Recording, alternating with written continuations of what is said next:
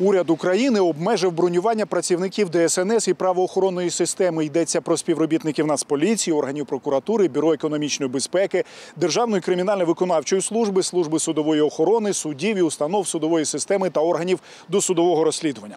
У Верховній Раді, до речі, неоднозначно сприйняли цю постанову. рятувальники, це е, пожежники. Е, ну і очевидно, що ну а як же як без цих людей в умовах російських обстрілів кожен день? А хто ж буде гас- гасити ці пожежі? Хто буде рятувати? Тому що ми бачили з вами ці скандали да, про Укрцирк, про е, тих, хто розводить вірблюдів. Вони там стратегічні підприємства записували по розведенню вірблюдів. Е, Доставка глова, а рятувальники і пожежники, значить, тільки 50%. У ДСНС постанову Кабміну не коментують. Водночас у Верховній Раді зареєстрували законопроект про 100% бронь для рятувальників. У суспільстві ж виникли питання: якщо мобілізують рятувальників, хто ж виїжджатиме на прильоти та ліквідовуватиме пожежі? У парламенті ж наголошують, щоб уникнути маніпуляцій і не допустити безладу, бронювання має бути ефективним. в контексті бронювання було б бажано, щоб дійсно уряд е, країни, яка перебуває в війні, в першу чергу займався ефективним бронюванням, яке б дозволило якісно функціонувати критичні інфраструктури.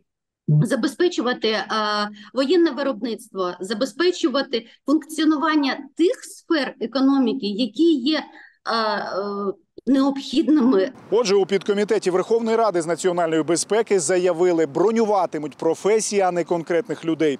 Наразі всі нюанси активно обговорюють парламентарі та урядовці. На рівні комітету, коли розглядали алгоритми бронювання, намагалися, по-перше, чітко визначити перелік професій і посад, які можуть бути заброньовані, уникнути корупційних складових, щоб не е, особи бронювалися, а лише е, фахівці, які необхідні для критичних е, галузей промисловості, військово-промислового комплексу.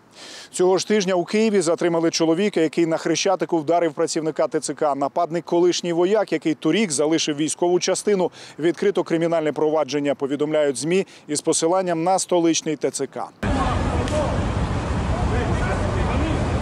Сам прийшов у ТЦК, отримаєш право на контракт. У Верховній Раді розтлумачили ще одну норму в новому законі про мобілізацію. Якщо людина отримує повістку, вона є мобілізованою. Якщо людина прийшла без повістки, вона має право укласти контракт на е, е, зарахування на військову службу. Це буде не мобілізований. Це буде людина, яка добровільно вступила на військову службу за контрактом, і вона має право укласти контракт на рік. І ще одна новація: отримати статус учасника бойових дій та ветерана війни можна буде автоматично. Відповідний законопроект ухвалила Верховна Рада.